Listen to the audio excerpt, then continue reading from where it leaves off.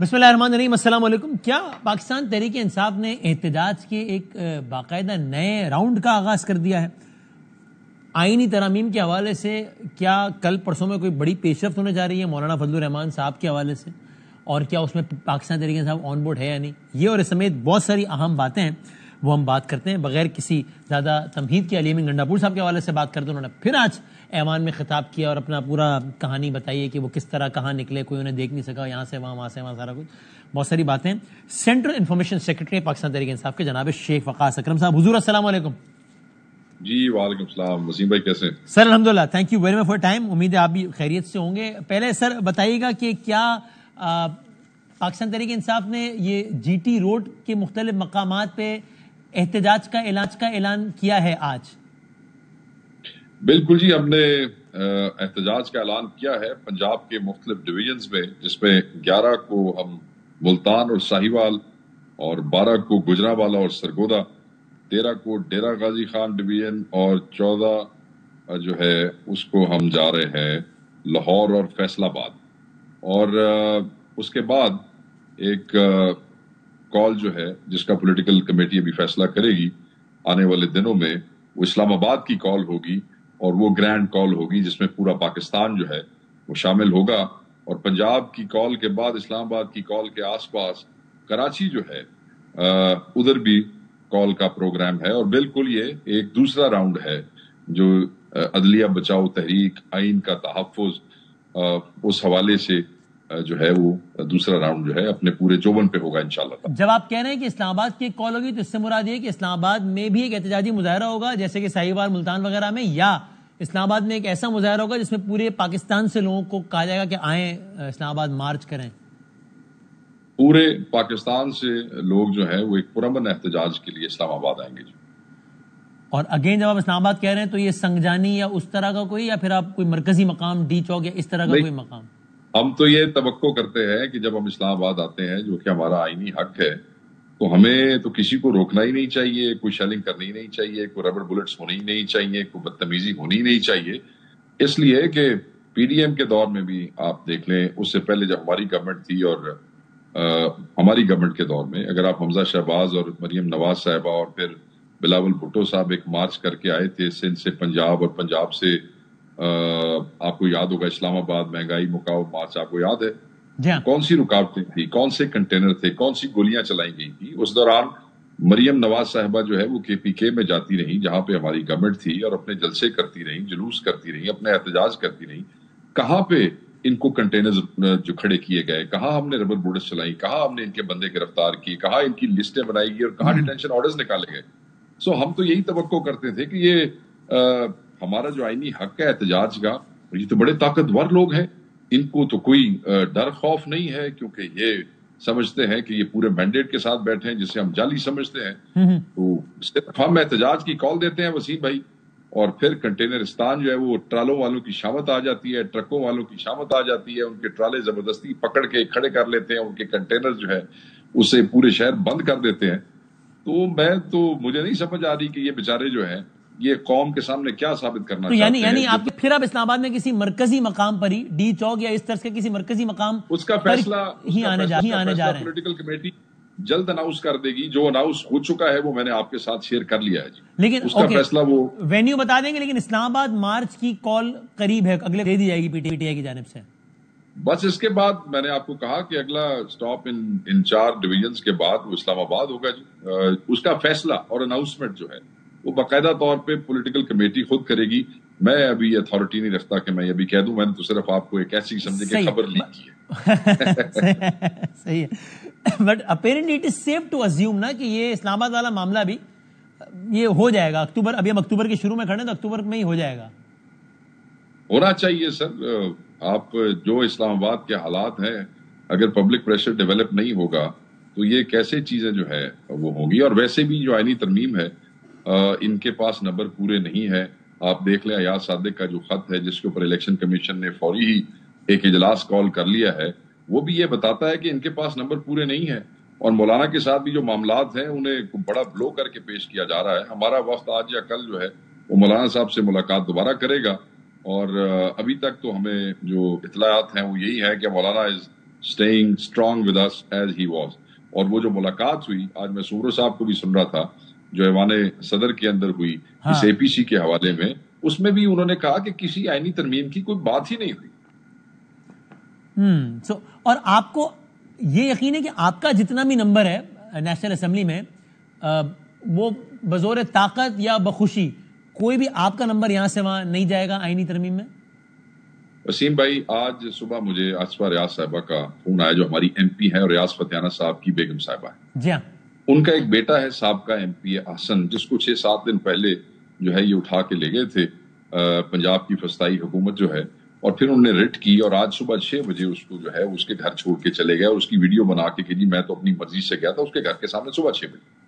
اور پھر دو بجے دوبارہ جو ہے ایک پنجاب پولیس کی اور ان کی ایک بڑی جو ہے وہ نفری آئی اور بہت سے ڈالے آئے اور وہ اس کو اٹھا کے واپس لے گئے اور یہ کہہ کے گئے کہ ریاض فتیانہ کو کہو واپس آئے۔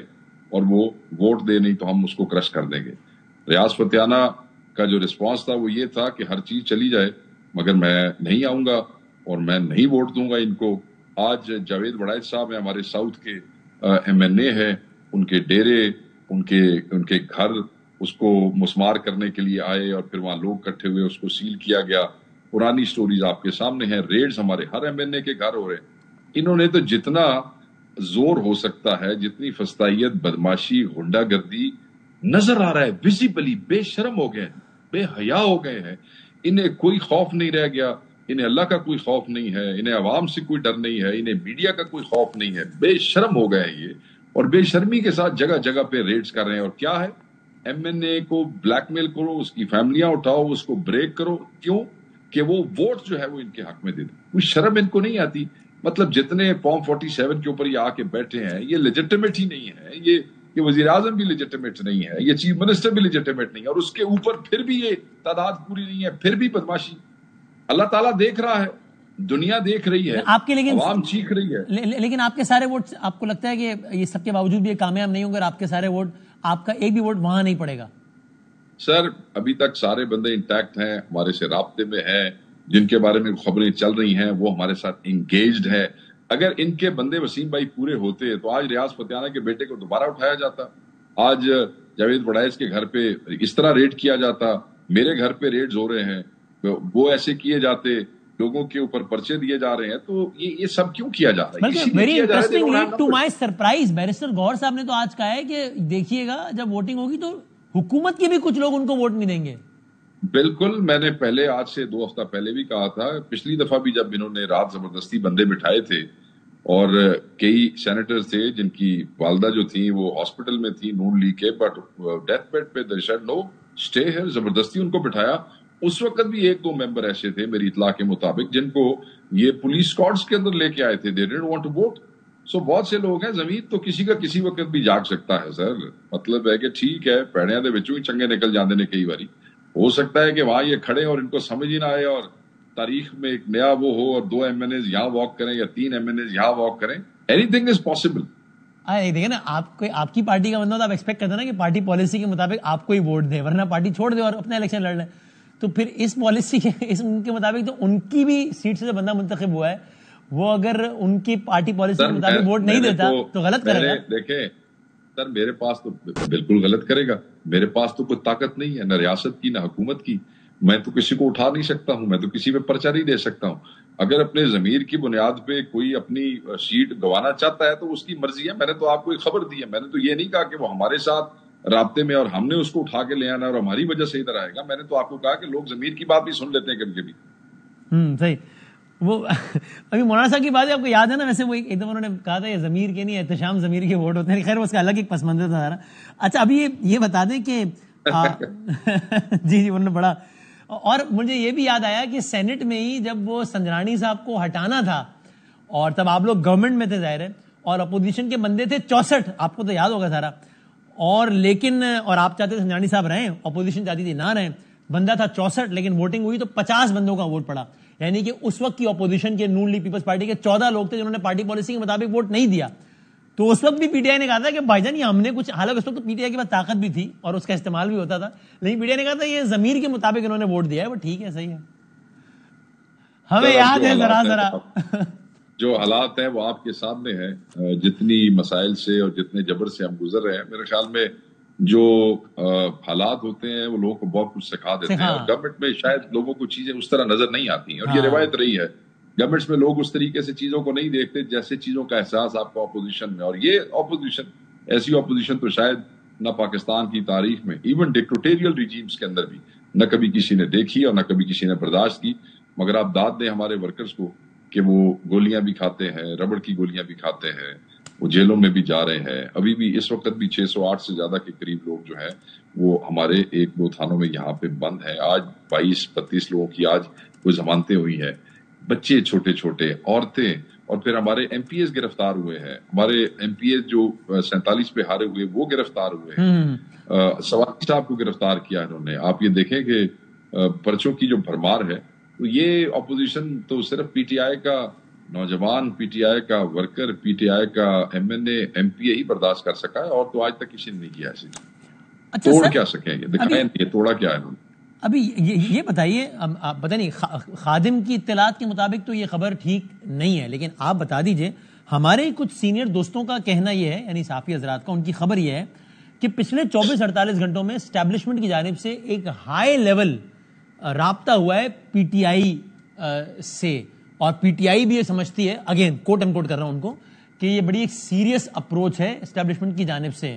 از اٹ دا کیس نہیں آئی ڈونٹ تھنک سو میرے پاس کوئی ایسی اطلاع نہیں ہے۔ آج سے دو دن پہلے، ایک دن پہلے بھی مجھ سے یہ سوال ہوا اور میں نے بالکل اس کو وہ کیا، اس سے، اس کی تردید کی ہے۔ نہ کوئی اس قسم کا رابطہ ہوا ہے۔ دیکھیں جن کے اسٹیبلشمنٹ سے رابطے ہوتے ہیں آپ نے اڑتالیس گھنٹے بھی کہا آپ نے چوبیس گھنٹے بھی کہا۔ چوبیس گھنٹوں میں ہمارے لوگوں کے بائیس پرچے ہو گئے۔ جی ہاں۔ چوبیس گھنٹوں میں ہمارے لوگوں کے چھوٹے چھوٹے بچے جو ہیں وہ اٹھائے گئے ہیں۔ پچھلے اڑتالیس گھنٹے کے اندر ہمارے چیف منسٹر کے اوپر جو ہے وہ گولے فائر کیے گئے ہیں ربر بلٹس فائر کی گئی ہیں۔ ان کی گاڑی کے ٹائروں پہ لائیو ایمونیشن کر کے بس کیے گئے ہیں۔ ٹائر اڑتالیس گھنٹوں میں تو اٹک کے پل پہ دس گھنٹے جو ہے وہ بےچارا شیلنگ برداشت کرتا وہ اس کو لڑتا کلیئر کروا کے برہان اور پھر کٹی پہاڑی سے یہاں پہنچا میں نہیں سمجھتا کہ جب اسٹیبلشمنٹس جو ہے ان کے ساتھ رابطے ہوتے ہیں تو پھر ساتھ ساتھ مارکوٹائی بھی چل رہی ہوتی ہے اور وہ اس لیول کی؟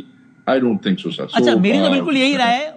میرا تجزیہ بھی ناقص سا یہی ہے اور معلومات بھی ناقص یہی ہے کہ معاملہ ایسے ہی جیسا آپ کہہ رہے ہیں۔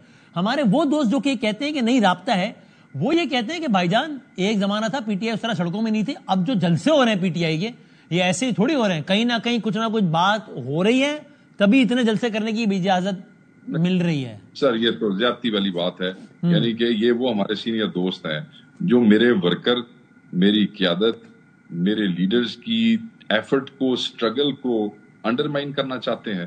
مطلب جو ظلم ہم برداشت کر رہے ہیں جبر ہم برداشت کر رہے ہیں یہ لوگ یہ امپلائی کر رہے ہیں کہ ہمیں اس کی اجازت ملی ہوئی ہے اور یہ ہم اس لیے کر رہے ہیں۔ یعنی کہ ہماری ایفرٹ ہماری ہمت نہیں مانتے جو ہمارا ورکر سڑکوں کے اوپر بےچارا مار کھا رہا ہے گیس کھا رہا ہے۔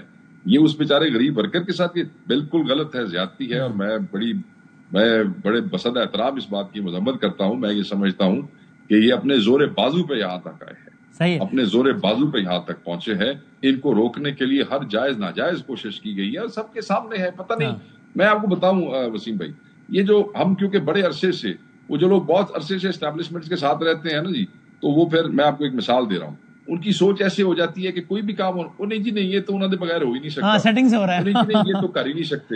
ہاں۔ جو بہت دفعہ جو بہت ہمیشہ وہ رہے ہو نا جی غلام رہے ہوں تو وہ ہر چیز کو اس جگہ سے اور جو ہر جنہوں نے ساری زندگی کانسپریسی تھیوری میں گزاری ہو ان کو ہر چیز میں کانسپریسی نظر آتی ہے۔ خدا کا نام منو ساڑھے بچیاں دی ایفرٹ ساڑھے بچے اور آپ کو گنڈا صاحب کے بیان میں کوئی کہانی نظر نہیں آ رہی آپ کو بھی لگ رہا ہے ان کا بھی آپ کو لگتا ہے کہ بالکل جو کہہ رہے ہیں ہر حرف سچ بتا رہے ہیں سچ کے سوا کچھ نہیں کہہ رہے سر میرا تو وہ دیکھیں میرا تو وہ ہی is a hero of the P T I he is a legend he is a patriot.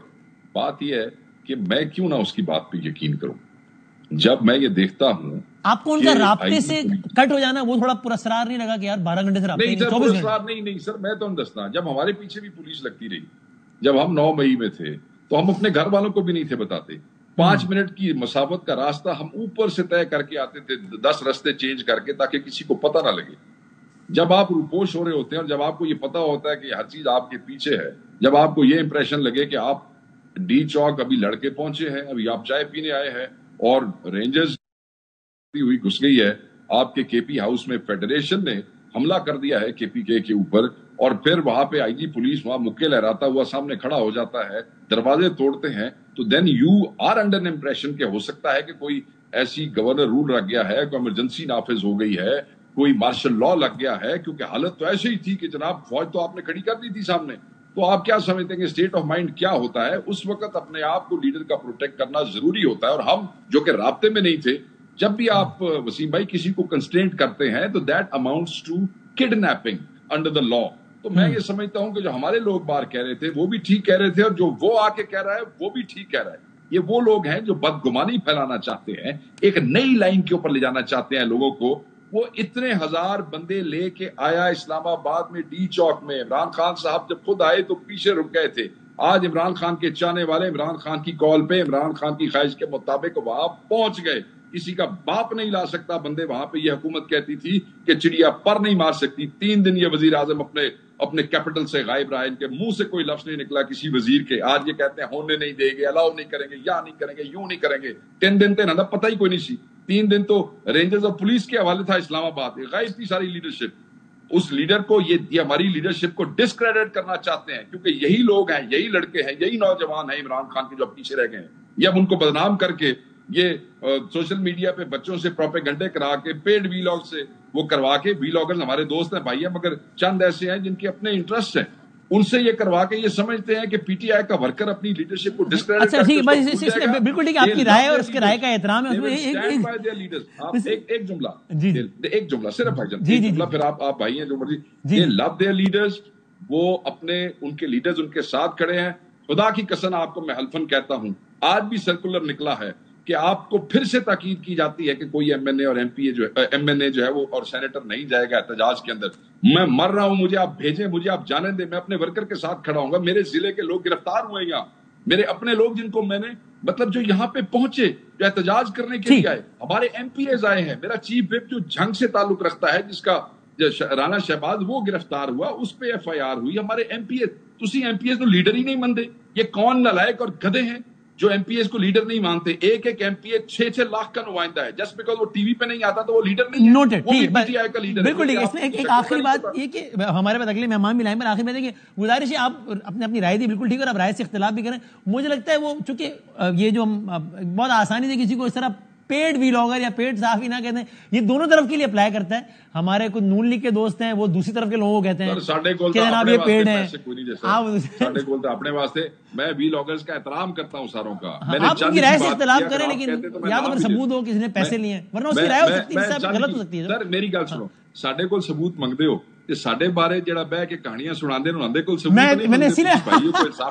نے اسی لیے کہا کہ this goes for both side میں نے اسی لیے کہا آپ سے پہلے کہ اگر کوئی پی ٹی کوئی پرو پی ٹی آئی وی لاگر کو بھی یہ کہے گا پیٹ گئے گا جی جی وسیم بھائی ایک سوال کوئی لاگ ہمارا بھائی احترام ہے میں ساروں کو اپنے سے ناراض نہیں کرنا چاہتا میرے سارے بھائی میرے سے رابطے میں جنہوں نے دو چار نے زیادتی کی میں ان سے پوچھتا ہوں بھائی ساڈا بندہ غدار ہے تھوڑے کو ثبوت ہے ہمارے بندے بک گئے ہیں۔ آپ کے پاس ثبوت ہے۔ ہمارے بندوں نے خاص دھوکا۔ آپ کے پاس ثبوت ہے۔ بالکل صحیح مگر جب اسی کہیے میں تسی یہ کیتا تسی کہندے ثبوت کا۔ میں نے اپنی جو بات کی نا میں اس کے وہ گارنٹی دیتا ہوں کہ اگر میرے پروگرام میں کوئی پرو پی ٹی آئی وی لاگر کو بھی پیڈ وی لاگر کہے گا تو خادم کا یہی الفاظ ہوں گے جو میں نے ابھی کہے۔ کہ یار یا تو سب آپ ٹھیک کہہ رہے ہیں۔ آپ ٹھیک کہہ رہے ہیں۔ سارے وی لاگر میرے قابل احترام ہے میں دو چار کی بات کر رہا ہوں اور وہ میں ان سے خود بات منہ پہ بھی بات کروں گا میں انہیں کہوں گا تسی کیتا کیجیے۔ آپ مطلب کیونکہ یہ جو آپ بات کر رہے ہیں نا یہ بائی دا وے ہمارے کچھ جو پرو پی ٹی آئی وی لاگر دوست ہیں ان کی بھی یہ رائے ہے بائی دا وے بتا دوں میں آپ کو۔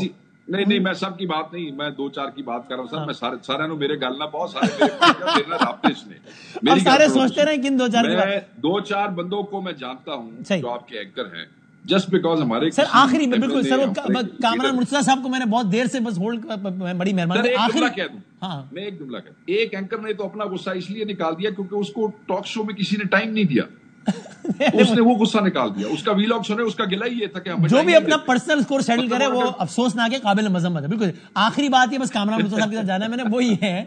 پی ٹی ایم پر پابندی لگ گئی اور ظاہر آپ اس کی مذمت کریں گے۔ سر یہ بھی کیا ان کچھ چیزوں میں سے ایک ہے جن کے بارے میں آپ کہہ رہے تھے کہ جب آپ حکومت میں ہوتے ہیں تو غلطیاں کرتے ہیں بعد میں بندہ سیکھتا ہے۔ یہ بھی آپ نے سیکھا ہے چونکہ پی ٹی آئی کے دور میں بھی ہمیں یاد ہے آپ نے پابندی نہیں لگائی۔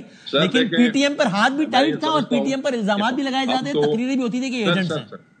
سر ہم تو اب مجھ سے پوچھ رہے ہیں نا۔ جی جی جی۔ ہم تو سر آئین پاکستان کی طرف کھڑے ہیں۔ یہ صوبائی معاملہ ہے۔ میں آپ کو یہ بتا دیتا ہوں کہ کوئی صوبہ کسی جماعت پہ پابندی نہیں لگا سکتا۔ یہ پابندی لگائی ہے فیڈرل گورنمنٹ نے انٹیریئر منسٹری جی جی میں کہہ رہا ہوں پی ٹی آئی بھی اپنے دور میں پی ٹی ایم کو ایجنٹ کا کہنے کا تاثر دیتی رہی ہے۔ آپ نے سیکھا ہے یہ بھی کہ بھائی اس طرح نہیں کرنا چاہیے تھا۔ Are you proud of that پابندی نہیں لگائی پی ٹی آئی کسی کو بھی بین کرنے سے پہلے بہت زیادہ ڈیلیبریشن ہونی چاہیے۔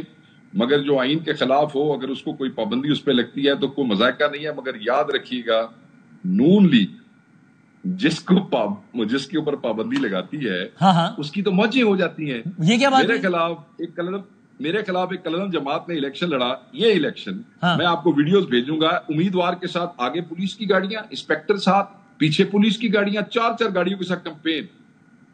ڈیولپمنٹ فنڈ فیسیلیٹیشن کمیٹیوں کے ممبر امیدوار بینڈ آرگنائزیشن خوش ہونا چاہیے۔ کیا ہوتا اس کو تو میں یہ سمجھتا ہوں کہ یہ نون لیگ نے جو ان کو بین کیا ہے ان کو خوش ہونا چاہیے فیسیلیٹیشن ملے گی ان کو وہاں سے۔ جہاں تک ہمارا تعلق ہے ہم آئین کے ساتھ کھڑے ہیں۔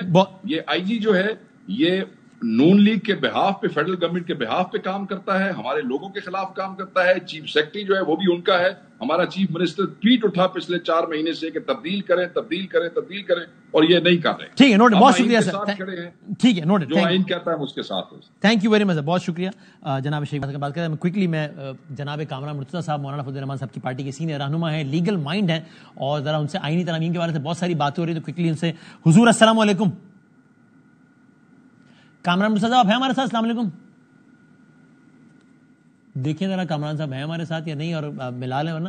اور مین وائز ذرا دکھا دیجیے علیم گنڈا پور صاحب نے آج ایوان میں وہ پوری اپنی وہ اسٹوری بتائی ہے کہ وہ کس طرح کہاں سے نکلے یہاں سے وہاں سے وہاں سے پہنچ گئے۔ ذرا ان کی اسٹوری کا آج کا ورژن بھی ذرا دکھا دیں علیم گنڈا پور صاحب کی۔ چار گھنٹے میں وہاں پہ رہا۔ یہ گھوم رہے تھے تلاشیاں لے رہے تھے بھاگ رہے تھے پورا انہوں نے کارڈن کیا ہوا تھا۔ میں نے ان سے کہا کہ گاڑی میں کیا پوزیشن ہے نکلنا ہے یہاں سے۔ مجھے انہوں نے کہا کہ گاڑی ارینج ہو گئی ہے۔ لائن میں ایسے رینجر کے سارے ڈالے۔ اور ایسے ساری کی ساری پولیس ڈالے میں ان کو نظر نہیں آیا۔ میرے پاس نہ موبائل ہے، نہ میری جیب میں ایک روپیہ ہے۔ اللہ کی ذات ہے، ایک میں ہوں۔ گاڑی میں بیٹھا، موٹر پہ چڑھے۔ بڑگرام تورغر شانگلہ سوات، مردان نوشیرا چارسدہ اور میں پشاور بند پہنچ گیا۔ یہ وقت گرفتار ہوئے ہیں۔ ایک ایک کو ری کرائیں گے ان کے ساتھ جو بھی ظلم ہوا ہوگا، اس کا حساب دینا پڑے گا۔ فوجی بھائیوں کا شکریہ ادا کرتا ہوں۔ پیچھے والا قافلہ جو آ رہا تھا، ہمارے لوگ گئے۔ انہوں نے کہا، یہ فوج ہماری ہے۔ انہوں نے پاک فوج کے نعرے مارے۔ فوجیوں نے ان کو راستہ دیا۔ لیکن پھر آگے جا کے بے غیرت اس دل فستائیت والے، آئی جی فیڈرل گورنمنٹ، حملے کر کے ان کو اتنا نقصان پہنچایا ہے، گرفتار بھی کیا، مارا بھی، جو بھی منافق ہے، اس نظریے کے ساتھ اللہ اس کو غرق کرے۔ جہاں تک ہم پہنچ گئے ہیں، اگلا اسٹیپ پھر شہباز شریف کا بیڈ روم ہے۔ عمران خان حکم دے دے۔ فوج کے جوانوں کا، فوجی بھائیوں کا شکریہ۔ لیکن آئی جی پولیس جو ہے وہ بڑے فلاں فلاں فلاں ہیں۔ جناب کامران مرتضیٰ صاحب سینئر رہنما، مولانا صاحب کی پارٹی کے آف کورس حضور، السلام علیکم۔ جی السلام علیکم۔ Sir thank you very much for time معذرت بھی آپ کو انتظار کرنا پڑا۔ کامران صاحب پہلے بتائیے یہ- خبر ٹھیک ہے یا غلط ہے؟ جو خبر چلی کہ کل مولانا فضل الرحمان صاحب کی پارٹی یعنی آپ کی جماعت اپنا تیار کردہ آئینی مسودہ پیش کرنے لگی ہے پریزنٹ کرنے لگی ہے۔ از دیٹ کریکٹ اس کو تصدیق یا تردید نہیں کر سکتا مگر مجھے بلوایا ہے سیکنڈ ٹائم اچھا تو ہو سکتا ہے کر بھی دیں نہ بھی کریں۔ مولانا صاحب کو آپ نے پریزنٹ کر دیا اپنا حتمی مسودہ جی وہ کر چکا۔ اور مولانا صاحب نے اس پہ جو بھی اپنی رائے ہے وہ مطلب بنا لی ہے کس جو بھی ہے۔ میں نے ان کو مطلب بریف کر دیا ہے اب وہ جو بھی کل وہ ہوگا مجھے بلوایا تو ممکن ہے کہ کوئی چیز تبدیل بھی کروا سکتے ہیں اور کچھ اگر اس میں ان کو پسند ہوا تو وہ کہہ بھی سکتے ہیں کہ ٹھیک ہے چلنے دے سو وہ جو بات ہو رہی تھی کہ ایک مسودہ سلمان اکرم ریاض صاحب بھی بنا رہے ہیں پی ٹی آئی کے ایک مرسا واب صاحب بھی بنا رہے ہیں وہ مسودے کہاں تک پہنچے؟ ان کا حتمی مسودہ آ گیا ان دونوں سائڈس کا آپ کے پاس؟ آ، نہیں اس میں ایسا ہے کہ پیپلز پارٹی کا آ گیا ہے۔ پی ٹی آئی کا کوئی نہیں آیا۔ پی ٹی آئی نے ایک میسج کیا اپنا سلمان اکرم راجہ صاحب نے مجھے کیا تھا۔ شاید پتہ نہیں آ، اس میں ان کی منشا یہی تھی کہ اس کو دیکھ لیں ذرا اس کو بھی پڑھ لیں۔ ایک میسج کیا تھا مگر وہ کوئی ڈاکومنٹ نہیں ہے ان کی طرف سے۔ P- P- Pakistan Peoples Party کی طرف سے ڈاکومنٹ ہے۔ جب آپ کہہ رہے ہیں انہوں نے میسج کیا کہ اس کو پڑھ لیں تو کس کو پڑھ لیں؟ مسودے کو ہی پڑھ لیں نا یعنی جو انہوں نے بنایا نہیں۔ مسودہ نہیں تھا وہ میسج تھا ایک اردو کا میسج تھا۔ کہ جس میں کوئی کوئی بھی رائے تھی کہ اس رائے کو دیکھ لیں آپ۔ رائے تھی کہ یہ چیز بھی دیکھ لیجیے گا۔ سو اس کا مطلب یہ ہوا کہ پی ٹی آئی کی طرف سے آپ کو مسودہ ایکسپیکٹ بھی نہیں کر رہے اب۔ میرا خیال ہے نہیں مگر کل پی ٹی آئی کی کوئی جے یو آئی کے ساتھ میٹنگ ہے۔ تو اگر جے یو آئی کے ساتھ میٹنگ ہے اور اگر مولانا کی منشا ہوئی تو ممکن ہے کہ ہمارا مسودہ ان کے ساتھ شیئر ہو جائے۔ صحیح لیکن وہ جو باقاعدہ جس طرح پیپلز پارٹی نے مرزا واب صاحب وغیرہ نے مسودہ بنایا اس طرح پی ٹی آئی کوئی بنا کے آپ کو پریزنٹ جی نہیں نہیں کر رہی۔ بالکل نہیں بالکل نہیں ایسا نہیں اور سر اس میں اس کی میں کوئی تفصیل میں نہیں جاتا لیکن یہ کہ صرف یہ آئینی عدالت کے تو اس کی کیا ڈیٹیلز ہوں گی وہ نہیں لیکن آئینی عدالت کے قیام کا تو مولانا فضل الرحمان صاحب خود فلور آف دا ہاؤس میں کہہ چکے ہیں نا جس میں وہ تاثر دے چکے ہیں کہ وہ اس کے خلاف نہیں ہے یہ پھر اس کی تفصیلات اپنی جگہ ہے جزیات اس میں نہیں جاتا۔ کل کل تک ویٹ کیجیے نا پھر میں ایکسپوز ہوتا ہوں بعض چیزوں پہ۔ ٹھیک ہے۔ اور ابھی یہ کہنا ٹھیک ہے کہ وہ جب حکومتی مسودے کو مسترد کر دیا مولانا صاحب کی پارٹی نے؟ نہ کریں وہ ہمارے لیے محترم ہیں۔ ہم تو ان کی باتوں کا ورنہ تو ہماری ضرورت نہیں تھی نا۔ ہم نے تو ان کی وجہ سے حرکت میں آئے ہماری کیا ضرورت تھی؟ ہم تو اپوزیشن میں بیٹھے ہیں بیٹھے رہیں گے۔ تو ہم نے جو مطلب جو مسودہ تیار کیا ان کے احترام میں تیار کیا ہے۔ یہ ہماری رائے مختلف ہے مگر بہرحال ان کے احترام میں کہ ان کی جو ہے تجاویز آئی تھی ہم نے بھی اپنی تجاویز مرتب کر لی ہیں ان کو دیں گے پیش کریں گے۔ ممکن ہے ہم سے وہ ایگری کر دیں۔ ہاں چلیں یہ یہ یہ مناسب ہے کہ آپ کہہ رہے ہیں۔ یہ نہ کہا جائے کہ ان کے مسودے کو مسترد کر دیا ہے۔ بس احترام اختلاف کر لیا اپنی رائے دے دی ہے۔ یہ اس طرح کر لیتے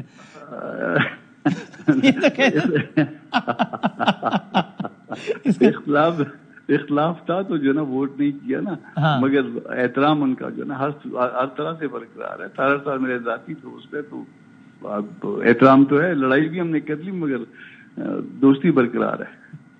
ہاں بالکل صحیح ہے۔ لیکن یہ کہ آئینی عدالتوں کے قیام کے حوالے سے ابھی آپ کچھ کامنٹ کرنا نہیں چاہتے کہ اس پر اتفاق ہوا ہے یا نہیں ہوا ہے۔ اللہ پاک خیر کریں گے کل جب چیزیں اوپن ہوں گی اور وہ انیشل ڈرافٹ ہے۔ اور انیشل ڈرافٹ میں ہم جو نا ان پٹ چاہیں گے انٹلیکچوئل ان پٹ چاہیں گے۔ آپ سے بھی مدد مانگیں گے کہ آپ بتائیے کہ ہم نے کیا غلطی کی اور ہماری غلطی کو درست کری صحیح۔ تو اس کا مطلب وہ یعنی اپنا مسودہ پیش کر دے گی جے یو آئی کل یا پرسوں جب بھی۔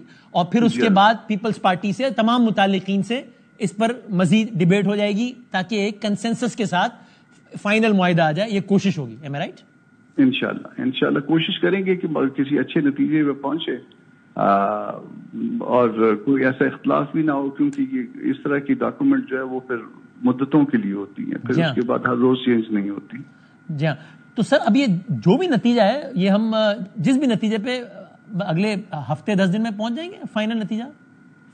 ان شاء اللہ تعالیٰ. ان شاء اللہ تعالیٰ مطلب ہماری طرف سے میرا خیال ہے کل کل یا زیادہ زیادہ پرسوں تک چیزیں شیئر ہو جائیں گی اور اس کے بعد پھر باقی دوست جو ہے نا وہ اپنے طور پہ سوچ بچار کر لیں گے ان کو جتنا ٹائم چاہیے ہوگا صحیح ہے تو کوشش ہوگی کہ بس جو بھی نتیجہ یعنی ظاہر اس کے بعد مشاورت ہو جائے گا تو اگلے سات آٹھ دس دنوں میں کچھ نہ کچھ نتیجے تک پہنچ جایا جائے۔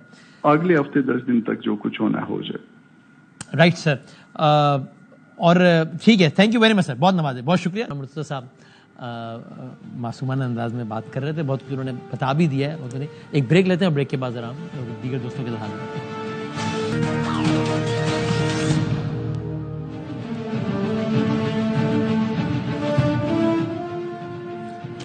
پرائم آپ کے بعد خوش آمدید کہتے ہیں، ہمارے اردل عزیز دوست جناب ارشاد بھٹی صاحب ہمارے ساتھ تشریف فرمائے اور ہم ایک اور دوست سے بھی رابطہ کرتے ہیں۔ بھٹی صاحب، السلام علیکم۔ علیکم السلام، بھائی جان۔ حضور پہلے تو آپ ذرا اس پہ اپنی رائے دیجیے۔ میں نے ابھی پچھلے سیگمنٹ میں اپنی ناقص رائے اور ناقص معلومات شیئر کی ہیں، جس سے اتفاق بھی کیا ہے شیخ وقاص صاحب نے۔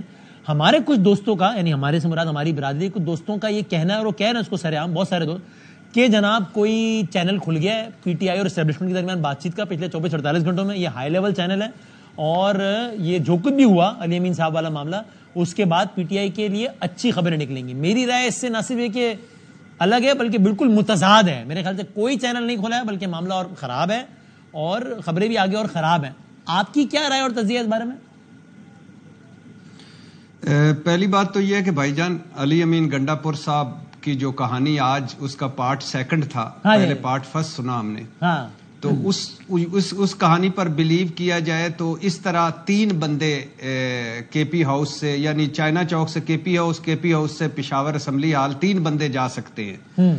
ایک بیٹ مین ایک اسپائڈر مین ایک سپر مین اور دوسری دوسری بات یہ ہے کہ جو بالکل میں آپ سے متفق ہوں مجھے ایسا لگ رہا ہے کہ کریک ڈاؤن کا ایک نیا سلسلہ شروع ہو گیا ہے۔ اور اس کا پہلی بات یہ ہے کہ اٹھارہ اکتوبر تک عمران خان صاحب کی ملاقاتوں پر پابندی اور ظاہر اڈیالہ جیل میں جو ملاقاتوں پر پابندی لگی ہے اس کی وجہ مجھے لگتا ہے عمران خان ہی تھے جس کی وجہ سے ساروں پہ لگ گئی۔ دوسری علیمہ خان اور یعنی ایک ایسا کیس جس میں پہلے دن ہی ڈسچارج ہونا چاہیے تھا تیسرا ریمانڈ۔ تیسری بات یہ ہے کہ تین رکنی کمیٹی بن گئی ہے جو وسائل چیک کرے گی کہ کے پی کے وسائل کتنے استعمال ہوئے اس احتجاجوں میں۔ چوتھا کے پی ہاؤس سیل ہو گیا۔ پانچواں لا تعداد پرچے اور قتل کے پرچے۔ چھٹا یہ ہے کہ اب گرفتاریاں چھاپے اور ابھی مزید گرفتاریاں اور چھاپے ہوں گے اور کریک ڈاؤن ہوگا۔ اور اس کریک ڈاؤن کا ایک تو یہ جو احتجاج ہے اس کی وجہ ہے اور ایک کریک ڈاؤن کا دوسرا وجہ ہے کہ آئینی ترامیم کہ اس وقت تک پاکستان تحریک انصاف کی جو مین قیادت ہے وہ ایک دوسرے کے رابطے میں نہ ہو ہاں۔ یا کوئی احتجاج نہ کر سکے یا کوئی اس طرح کا سڑکوں پہ نہ آ سکے۔ اور اس کے علاوہ زیرو ٹالرنس لگ رہی ہے اور کوئی کسی سطح پر دروازہ نہیں کھلا۔ اگر کوئی کھلا ہے تو پھر وہ اتنی ہائی سطح پر کھلا ہے کہ مجھے اور آپ کو شاید اس کا علم نہیں ہے ورنہ جو سامنے نظر آ رہی ہیں بالکل غم و غصہ ہے۔ اور ایک ایک طرح سے جو آئینی ترمیم کی طرف جا رہا ہے، اس کے بعد تو مجھے لگ رہا ہے کہ اگر آئینی ترمیم ہو گئیں، جو سمجھی جا رہی ہیں، اور اگر وکیل مولانا صاحب بھی مان گئے، وکیل اور پاکستان تحریک انصاف سڑکوں پہ ہوگی یا جو بھی ہوگا، تو اس کے بعد مجھے تو اور بڑے سنگین مقدمے لگ رہے ہیں تحریک انصاف پر اور عمران خان پر، تو ایسی کوئی بات نہیں لگ رہی مجھے تو۔ میری بھی یہی رائے میں میں ذرا پہلے کوئکلی پہلے جناب مظہر عباس صاحب بھی ساتھ ہو تو میں کوئکلی ان سے بھی ذرا اس بارے میں رائے لوں پھر ہم آگے۔ مظہر صاحب السلام علیکم۔ جی وعلیکم السلام Waseem. Sir thank you for time پہلے اس میں بتا دیں پھر ہم بات آگے۔ آپ کی رائے میں چونکہ کچھ ساتھیوں کی رائے ہے کہ پی ٹی آئی کے سے بات چیت کا کوئی چینل کھل گیا ہے۔ ہماری رائے یہ بھٹی صاحب کی بھی رائے ہے کہ نہیں ایسا بالکل بھی نہیں ہوا بلکہ معاملہ شاید پہلے سے زیادہ اور خراب ہو گیا ہے۔ آپ کو کیا لگتا ہے؟ جی مجھے بھی کوئی ایسی اطلاع تو نہیں ہے نہ مجھے کوئی ایسی انڈیکیشن مل رہی ہیں انڈیکیشن نظر آتی ہیں نہ حکومتی بیانات وغیرہ کے بیانات میں تو اور زیادہ سختی نظر آ رہی ہے۔ جو انڈیکیٹرز ہوتے ہیں کہ کوئی بریک تھرو ہو رہا ہے کوئی بات چیت ہو رہی ہے کوئی اس طرح کے معاملات ہو رہے ہیں تو مجھے تو کم سے کم اصل میں وہ کچھ دوست یہ کہتے ہیں کہ بھائی نون لیگ آج زبیر صاحب نے بھی کہا اور کچھ ہمارے دوست بھی کہتے ہیں کہ بھائی نون لیگ کو پریشان ہونا چاہیے۔ کہ اگر وہ یہ کہہ رہے ہیں کہ جناب علی امین گنڈا پور صاحب کا میچ فکس تھا تو میچ فکس کا مطلب تو ہے کہ وہ ظاہر ہے اسٹیبلشمنٹ سے ان کا معاملہ سیٹ ہے۔ تو اسٹیبلشمنٹ سے اگر پی ٹی آئی کے اتنے سینئر آدمی کا معاملہ سیٹ ہے تو اس کا مطلب اسٹیبلشمنٹ کی لائن کھل رہی ہے پی ٹی آئی سے which is a bad news for P M L N وہ اس طرح ڈاٹس کنیکٹ کرتے ہیں۔ جس پہ اگین میری رائے ہے کہ اسٹیبلشمنٹ کا ایک سی ایم سے انگیج ہونا باوجود وہ الگ بات ہے۔ اور اسٹیبلشمنٹ کا ایک پارٹی کے لیے ہاتھ ہلکا کرنا یہ بالکل الگ بات ہے۔ دو چیزوں کو کنفیوز نہیں کرنا چاہیے میرے خیال میں تو۔ یور پوائنٹ دیکھیں وسیم ہماری یہاں دو تین چیزیں ہوتی ہیں۔ اب جن جو لوگ یہ کہہ رہے ہیں کہ میچ فکس تھا کیا ان کے پاس ایسے شوائد ایسے ثبوت ہیں تو وہ لے کر آنا چاہیے؟ ان کو ہو سکتا ہے وہ درست کہہ رہے ہو سکتا ہے نہ کہہ رہے ہوں درست کیونکہ میرے پاس کوئی ایسے شوائد نہیں ہیں۔ مجھے تو یہ لگ رہا ہے کہ امین گنڈا پور نے جو جو چیز کی ہے اس سے سب سے زیادہ نقصان پی ٹی آئی کے کارکنوں کا ہوا ہے۔ آپ ایک جلوس لے کر آئے آپ نے یہاں داخل ہوئے آپ کے ہزار کے قریب کارکن جو ہے وہ گرفتار ہوئے سب پہ انسداد دہشت گردی کے مقدمات قائم ہیں اور آپ بڑے آرام سے پہنچ گئے واپس اسمبلی اور آپ یہ دعویٰ کر رہے ہیں کہ دیکھیں جی میں نے کل کر آ گیا۔ اس سے پہلے تو بیرسٹر صاحب کے ہر دوسرے منٹ پہ ہر دوسرے گھنٹے میں بیان آ رہا تھا کہ گرفتار کر لیا گیا غائب ہو گئے اور پھر آپ آ گئے۔ آپ آ تو گئے لیکن اتنے لوگوں پہ جو وہاں مقدمات آپ کی وجہ سے قائم ہوئے اور انتظاد دہشت گردی کے مقدمات جو اب وہ فیس کریں گے، تو علی امین گنڈا پور جو ہے، وہ اپنے وزیر اعلیٰ ہاؤس میں بیٹھے رہیں گے۔ اول تو وزیر اعلیٰ کو اس طرح کے جلوس لانے کی ضرورت نہیں تھی۔ پارٹی موجود ہے، پارٹی جلوس نکالتی، پارٹی لے کر آتی۔ ایک چیف منسٹر کو وفاقی حکومت سے آپ بات کریں نہ کریں آپ ٹھیک ہے لیکن آپ کا یہ خیال ہے کہ ابھی کوئی معاملہ آپ کی بھی رہا ہے کہ معاملہ نہ صرف کہ کوئی کانٹیکٹ کا چینل نہیں کھلا بلکہ معاملہ خراب ہے۔ تھینک یو سر بہت شکریہ مظہر عباس صاحب. تھینک یو سو مچ جناب بھٹی صاحب منی فاروق صاحب بھی جوائن کر رہے ہیں کوئکلی تو بھٹی صاحب اب یہ آئینی ترمیم جو کہ اصل سارے کا سارا مسئلہ ہے آپ کو کیا لگ رہا ہے؟ آپ کی کیا معلومات یا تجزیہ ہے؟ بالآخر حکومت وہ آئینی ترمیم کرنے میں کامیاب ہو جائے گی یا نہیں ہوگی؟ دیکھیے دو تین اس کی وجہ اس کے سامنے چیزیں نظر آتی ہیں۔ پہلی بات تو یہ کہ مسودہ کون سا ہوگا؟ ٹھیک ہے۔ مولانا صاحب کا والا ہوگا مسلم لیگ نون والا ہوگا یا جیسے کامران مرتضی نے کہا ہے کہ آپ سے رہنمائی لی جائے گی تو آپ والا ہوگا۔ تو اب اگر اگر تو اگر تو یہ ہوگا حکومت والا، تو یہ لاسٹ جو میٹنگ ہوئی ہے، جو آل پارٹیز کانفرنس کی آڑ میں ہوئی ہے، جس میں باپ بیٹا بیٹھے تھے، بھائی، دو بھائی اور ایک سمدھی بیٹھا تھا اور ایک مولانا صاحب بیٹھے تھے۔ پہلی دفعہ سارے اکٹھے بیٹھے تھے۔ تو اس میں قاضی فائز عیسیٰ پر سنا ہے کہ بات اٹکی اٹک گئی ہے کہ مولانا صاحب کہہ رہے تھے کہ ایسا سنا گیا ہے کہ مولانا صاحب کہہ رہے تھے کہ بھئی آپ ان کو تو جانے دیں، آگے آگے بڑھے تو اب آئینی ترامیم میں کیا جج حکومت حکومت خود جج لگائے گی؟ ان کی تبادلے بھی کرے گی چیف جسٹس بھی خود لگائے گی اور اوپر آئینی عدالت بھی بنائے گی سپریم کورٹ پر ہم خود کچھ حملہ بھی کرے گی آئین کے بنیادی سٹرکچر پر بھی حملہ کرے گی یا پارلیمنٹ کے انڈر کر دے گی سپریم کورٹ کو اور اس میں اس کو اگر یوں سمیٹ لیں پھر منی بھائی کے جاتے ہیں۔ بھائی دیکھیں اگر حکومت کو یہ لگا کہ یار ایسی آئینی ترمیم ہو رہی ہے جس کا کوئی ٹکے کا فائدہ نہیں تو ظاہر حکومت کرے گی نہیں۔ ہاں یہ ہو سکتا ہے کہ حکومت کا ٹارگٹ بہت ٹین آؤٹ آف ٹین ہو اس کے بدلے ٹین آؤٹ آف ٹو ان کو ملے اور وہ کہنے چلو کچھ فائدہ تو ہے کر لیں۔ تو اس کی جزیات میں نہیں جاتے کہ کیا ہوگا۔ ہو پائے گی ترمیم جی۔ یا نہیں ہو پائے گی آپ کے خیال میں؟ چلیں ابھی ڈیٹیل چھوڑ دیتے ہیں۔ جی بٹی صاحب۔ نہیں نہیں ہو نہیں نہیں دیکھیں سکسٹی تھری اے کے کیس کے فیصلے کے بعد قاضی فائزی صاحب بینچ کے بعد تو لوٹا کریسی تو جائز ہو گئی۔ تو قومی اسمبلی میں تو ان کو پرابلم نہیں ہے۔ ایسا لگتا ہے۔ تو اب اگر مولانا صاحب ان کے ساتھ ہوتے ہیں یا نہیں ہوتے تو ایک اٹمپٹ تو وہ کریں گے کروا لیں گے اور کرنے کی کوشش کریں گے۔ لیکن اس کے بعد مجھے سب سے زیادہ اس سے کنسرن ہے کہ اگر ہو جائے گی تو اس کے بعد حکومت کے ہاتھ میں مجھے نہیں لگتا کہ کچھ چیزیں رہ جائیں گی۔ کہ اگر فرض کریں کہ وکلا سڑکوں پہ ہوتے ہیں پی ٹی آئی بھی ہوتی ہے جوڈیشری بھی سڑکوں پہ ہوتی ہے تو پھر کیا ہوگا؟ پھر ایک نیا رولا پڑے گا ٹھیک ہے۔ اچھا منی بھائی سر یہ آئینی ترمیم میں تو آتے ہیں بعد میں لیکن پہلے ذرا تھوڑا سا پیچھے جاتا ہوں دوبارہ جو اس وقت آپ سے رابطہ نہیں ہو پا رہا تھا۔ تو سر گنڈا پور صاحب کا تو بتائیں کہ کیا تھا؟ ان سے کیوں نہیں رابطہ ہو پا رہا تھا؟ یہ بھی لاپتہ تھے۔ ہاں منیر صاحب کا فون جو ہے وہ چھ منٹ بند رہا ہے۔ رابطہ ہم کرنے کی کوشش کر رہے تھے۔ وہ یہ یہ بھی اسی پہاڑ پر نا پتھر پھینک رہے تھے گاڑی روکنے کے لیے۔ ہاں جی منیر صاحب۔ دیکھیے بات یہ ہے کہ گنڈا پور صاحب میرے خیال میں تو جو انہوں نے پہلی تقریر کی جس دن وہ امرج کیا انہوں نے خیبر پختونخوا اسمبلی میں آج کی تقریر اس سے زیادہ انٹرٹیننگ تھی۔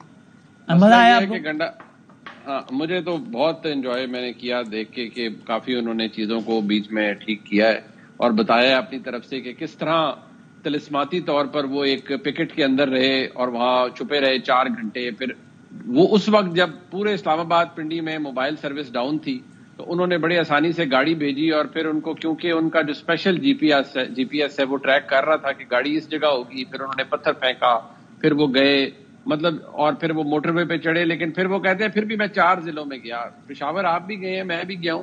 تو جہاں تک مجھے پتا ہے کہ آپ جب موٹر وے پہ چڑھتے ہیں تو آپ ڈائریکٹ پشاور جا سکتے ہیں۔ آپ کو ادھر ادھر جانے کی ضرورت نہیں پڑتی مختلف اضلاع کے اندر۔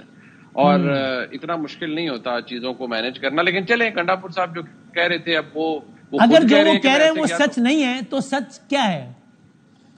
دیکھیے بات یہ ہے کہ گنڈا پور صاحب جہاں پر اس میں نا وہ کہتے ہیں نا nobody is coming out clean government نے ابھی تک یہ تو کلیئرلی بتایا ہی نہیں نا کہ دیکھیے رینجرز اور آئی جی اسلام آباد آپ کا کیا خیال ہے؟ وہ ادھر خیبر پختونخوا ہاؤس کے اندر کوئی کیک پیسٹری کھانے گئے تھے ٹی بریک کے لیے گئے تھے؟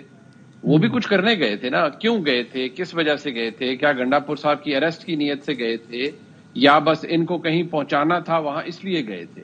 اور ان کو کہیں تک ان کی ترسیل کروانی تھی اس لیے گئے تھے؟ اب یہ تمام ممکنات میں سے ہے نا؟ میں اب ظاہری بات ہے جو امپریشن تھا بادامی صاحب وہ آپ ہوں میں ہوں یا بٹی صاحب ہوں تو یہی تھا کہ اس سے لگ رہا ہے کہ جب اتنی بڑی تعداد میں رینجرز وہاں گئے اور ایک باقاعدہ طور پر ایک ایک جس طرح سے ایک ریڈ کنڈکٹ ہوتا ہے اس طرح سے کیا گیا۔ ہاں۔ اب گنڈا پور صاحب اس دن کہہ رہے تھے کہ آئی جی نے صاحب نے انہیں گالیاں نکالی۔ پھر کہا آئی جی نے میرا موبائل اب موبائل گنڈا پور صاحب آئی جی صاحب کے حوالے کیوں کریں گے یا کہاں گنڈا پور صاحب چھوڑ گئے تو آئی جی صاحب نے ان کا موبائل لے لیا۔ اب یہ کچھ ایسے نقطے ہیں کہ دیکھیں مجھے خواجہ آصف صاحب نے آج میرے پروگرام میں کہا کہ ذرا گنڈا پور صاحب سے پوچھیں کہ وہ پہاڑی کے نیچے کہاں سے راہداری لے کے گئے تھے؟ اب پہاڑی کے نیچے آپ دیکھیں کون سے دفاتر ہیں۔ ٹھیک ہے جی مارگلا کی پہاڑی کے نیچے۔ تو شاید انہوں نے راہداری وہاں سے لی ہوگی۔ یہ بقول خواجہ آصف صاحب وزیر بقول وزیر دفاع خواجہ آصف صاحب کے۔ جی جی بقول وزیر دفاع جناب خواجہ محمد آصف صاحب کے۔ انہوں نے کہا کہ راہداری انہوں نے پہاڑی کے نیچے کہیں سے لی ہے۔ اب مسئلہ یہ ہے جہاں سے بھی لی ہے مسئلہ سیدھا سا ہے جی کہ گنڈا پور صاحب جو آج کر رہے کر رہے تھے وہ صرف اپنی پارٹی کو کی سامنے فیس سیونگ ہے۔ ٹھیک ہے۔ یا جو جی۔ اچھا اب میں میں بتا رہا ہوں۔ بٹ صاحب یہاں سے تجزیہ کریں۔ میری رائے یہ ہے کہ گنڈا پور صاحب شاید ایک کوشش جو کر رہے ہیں کہ ایک طرف معاملہ اتنا سیٹ رہے کہ ان کو بھی یہ سمجھانے کی کوشش کی جائے یعنی کوشش کی جائے کہ معاملہ وہاں سے غصہ اتنا نہ بڑھ جائے کہ کریک ڈاؤن ہی ہو جائے اسٹیبلشمنٹ کی طرف۔ اور دوسری طرف خان صاحب کی بھی بات ظاہر ماننی ہے کہ یہ چل نہیں پائے گا معاملہ اور الٹیمیٹلی یہاں دونوں طرف سے پھنسیں گے۔ چونکہ خان صاحب، ان سے یہ شاکی ہوں گے کہ بھائی جان آپ نہیں کر رہے کام صحیح اور اسٹیبلشمنٹ یہ شاکی ہوگی کہ آپ کیا نہیں کر رہے کام صحیح۔ آپ کو کیا لگتا ہے؟ گنڈا پور صاحب اس طریقے سے چل پائیں گے کہ جہاں دونوں سائڈز کو راضی رکھ پائیں؟ بات پھر وہیں سے شروع کروں گا کہ جو گنڈا پور صاحب کی کہانی ہے، اس حساب سے وہ جس طرح نکلے ہیں، وہ یا بیٹ مین تھے یا اسپائڈر مین تھے یا سپر مین تھے۔ اور دوسرا خواجہ محمد آصف صاحب آل معروف ریحانہ ڈار والے یہ ان سے زیادہ بھلا کون جانتا ہے پہاڑیوں کے رستے اور راہداریوں کے رستے؟ یہ تو انہی رستے پہ جوان ہوئے اور اب بوڑھے ہو گئے ہیں تو یہ بہتر جانتے ہیں کہ کون سی سرنگ کدھر جاتی ہے۔ تیسری بات ہاں۔ میرا خیال ہے گنڈا پور صاحب کو اس وقت اور کوئی پرابلم نہیں ہے۔ نہ عمران خان صاحب والی نہ ادھر اسٹیبلشمنٹ والی۔ گنڈا پور صاحب کو اس وقت سب سے بڑا پرابلم سب سے بڑا مسئلہ ان کی کریڈیبلٹی کا ہے جس کی وجہ سے انہوں نے دو نیچے اوپر تقریریں ٹھوکی ہیں ہاں۔ وہ اس کی وجہ یہ ہے کہ جب رستے میں بتایا گیا تھا ان کو کہ آپ گرفتار ہو سکتے ہیں کے پی ہاؤس میں وہاں ریڈ ہو سکتا ہے اور بڑے حالات خراب ہیں اور آپ چائنا چوک سے سیدھے کے پی ہاؤس گئے اور پھر اس کے بعد پہلی تقریر میں بارہ ضلعوں میں سے گھوم کے اور دوسری تقریر میں چار ضلعوں میں سے گھوم کے اسمبلی ہال نکلے تو وہ جو سوال ہیں جو گلٹی فیلنگ ہے اندر کی اس کی وجہ سے وہ تقریریں کر رہے ہیں۔ باقی میرا خیال ہے جب تک عمران خان صاحب چاہیں گے وہ یہ ڈبل رول نبھا سکیں گے۔ اور اب میرا خیال ہے آگے ڈبل رول بھی ڈبل رول بھی مجھے نظر آتا دکھائی نہیں دے رہا۔ ہاں۔ کیونکہ گورنر راج یا ایمرجنسی کا نفاذ یا اور آگے بڑی سخت چیزیں یہ ساری اچھا اچھا اوکے گپے اڑ رہی ہیں۔ اچھا اب منی بھائی ذرا اب اگلے کچھ دنوں کا منظرنامہ آپ پریڈکٹ کریں نا، یہ بڑا میں کوٹ ان کوٹ کہہ رہا ہوں، یہ بڑا شیخ رشید صاحب ٹائپ والا سوال ہے۔ وہ کہتے تھے ایک زمانے میں کہ جناب وہ اگلے کچھ دنوں میں کیا ہوگا، بہت اہم۔ لیکن ایکچولی ہے نا، آج ہم آٹھ اکتوبر میں کھڑے ہیں، پچیس، چھبیس اکتوبر تک قاضی بھائی عیسیٰ صاحب کا معاملہ ظاہر ہونا، یا ریٹائر ہونا یا نہیں ہونا۔ ابھی کامران مرتضی صاحب کہہ کر گئے ہیں کہ جو بھی ہونا ہے، حتمی طے پا جائے گا اگلے آٹھ، دس دنوں میں۔ آئینی مسودے کے حوالے سے۔ ابھی شیخ وقاص صاحب کہہ کر گئے ہیں کہ ابھی تاریخیں دے کر گئے ہیں کہ اس دن سائیوال، اس دن ڈیرا غازی خان، اس دن یہاں پر ہم احتجاج کر رہے ہیں اور اس کے کچھ ہی دنوں بعد موسٹ پبلی اکتوبر میں ہم پھر اسلام آباد کی جانب مارچ کا اعلان کر رہے ہیں۔ ابھی بھٹی صاحب کہہ کر گئے ہیں کہ آئینی ترمیم منظور ہو بھی گئی تو بکلا نکل پڑیں گے۔ یہ سب کچھ ان میں سے جو بھی ہونا ہے، یہ اگلے تیس دنوں کے اندر ہی ہونا ہے۔ سو آپ کا کیا تجزیہ اگلے تیس دنوں بعد کیا منظر نامہ ہوگا؟ دیکھیے، دو تین چیزیں ہیں بدامی صاحب۔ ایک تو یہ کہ مجھے لگتا ہے کہ یہ ترمیم تو فی الحال تو حکومت سر توڑ بازی لگائے گی لیکن یہ ترمیم فیز وائز ہوگی۔ جو پلندہ تھا اکٹھا وہ نہیں ہوگا شاید ہاں۔ اور شاید مجھے لگتا ہے باقی نہیں ہوگا وہ دو چیزیں شاید ہوں گی۔ سب سے پہلے ایک آئینی عدالت کا قیام اور ججز اپوائنٹمنٹ کا طریقہ۔ اس کے اوپر شاید گورنمنٹ کا زیادہ فوکس ہوگا۔ مجھے پتہ نہیں کیوں لگتا ہے کہ اس پورے معاملے میں اب میں غلط ہو سکتا ہوں لیکن شاید قاضی فائز عیسیٰ صاحب کی ذات اہم رہی ہے لیکن شاید اب وہ میرا میرا میرا اندازہ ہے کوئی خبر نہیں ہے اندازہ ہے کہ شاید وہ وہ اس جگہ سے نکل آئے ہیں کہ جی وہ نان نیگوشیبل ایک چیز ہوتی ہے نا شاید اس چیز سے وہ نکل آئے ہیں ان کا نام جو ہے۔ اور شاید کوئی اور شخصیت اس منصب کے لیے موجود ہوگی۔ جو سپریم کورٹ کے چیف جسٹس کا معاملہ ہے اس کے لیے بھی اگر حکومت ترمیم کرنے میں کامیاب ہو جاتی ہے تو تین سینئر ججز کا پینل ہوگا۔ مجھے تو پتہ نہیں کیوں لگتا ہے کہ حکومت شاید چاہتی ہی نہیں ہے کسی بھی فارم میں کہ منصور علی شاہ صاحب اس ملک کے چیف جسٹس بنے۔ چاہے وہ ایک چاہے وہ ایک بے اختیار سپریم کورٹ ہی کیوں نہ ہو اس کے بھی نہ بنے۔ جی ہاں مجھے مجھے مجھے سم ہاؤ یہ مجھے شک پڑتا ہے۔ میں دوبارہ کہوں گا کوئی ایسی خبر نہیں مجھے شک پڑتا ہے شک غلط بھی ہو سکتا ہے۔